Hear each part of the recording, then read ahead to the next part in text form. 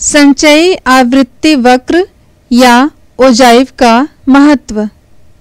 संचयी आवृत्ति वक्र या ओजाइव का उपयोग आंकड़ों के अध्ययन में कई जगहों पर होता है।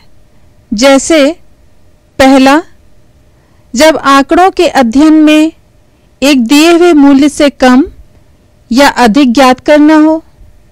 दूसरा, ओजाइव का प्रयोग तुलनात्मक अध्ययन के लिए भी किया जाता है। तीसरा, ओजाइव का प्रयोग केंद्रीय प्रवृत्ति के माप जैसे मध्यिका, चतुर्थक, शतमक आदि की गणना में किया जाता है। चौथा, विशिष्ट संचयी आवृत्ति में चर का कौन सा मूल्य शामिल है, वह भी ज्ञात किया जा सकता है। हमने सीखा। बिंदु एक।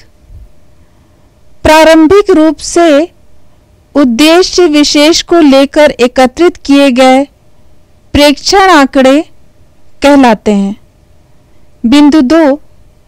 जब प्रेक्षणों की संख्या अधिक होती है तो उनकी बारंबारताओं को ज्ञात करने के लिए हम मिलान चिन्हों का प्रयोग करते हैं। बिंदु तीन। दिए हुए आंकड़ों में कोई विशेष प्रेक्षण जितनी बार आता है, उस संख्या को प्रेक्षण की बारंबारता कहते हैं। बिंदु चार।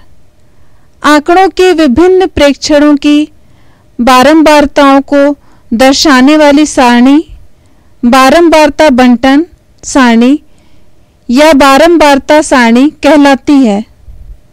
बिंदु पाँच। जब प्रेक्षणों की संख्या बहुत अधिक होती है तो आंकड़ों को समूहों में संगठित करते हैं, जिन्हें वर्ग कहते हैं। इस प्रकार प्राप्त आंकड़े वर्गीकृत आंकड़े कहलाते हैं। बिंदु छ। आयत चित्र वर्गीकृत आंकड़ों का एक आलेखीय निरूपण होता है। जिसमें प्रत्येक वर्ग के लिए एक आयत खींचा जाता है, जहाँ x अक्ष में वर्ग अंतराल एवं y अक्ष में ऊंचाई संगत बारंबारता से निर्धारित की जाती है।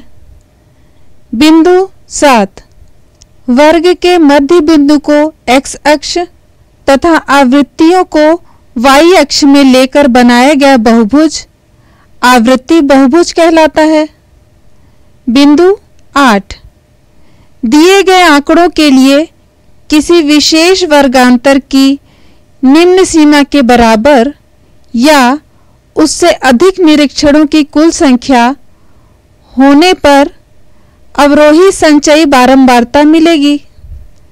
बिंदु नौ, समूहबद्ध बारंबारता बंटन में यदि वर्गांतर भिन्न है तो सोपान आलेख में बारंबारता घनत्व के आधार पर आयतों की रचना करनी होगी। बारंबारता घनत्व बराबर श्रेणी की बारंबारता बटा वर्ग की लंबाई गुणित आंकड़ों की न्यूनतम श्रेणी। बिंदु 10 समान आंकड़ों का बारंबारता बहुभुज और संचयी आलेख का क्षेत्रफल समान होता है।